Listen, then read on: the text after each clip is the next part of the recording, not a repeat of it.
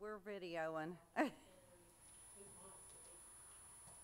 and this mare is 12.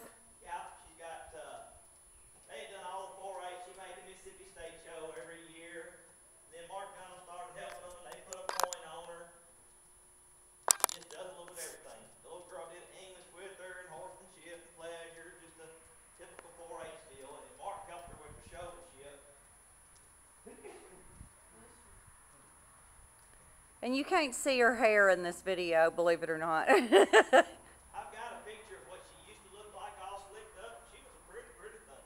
She carries her little head and neck pretty.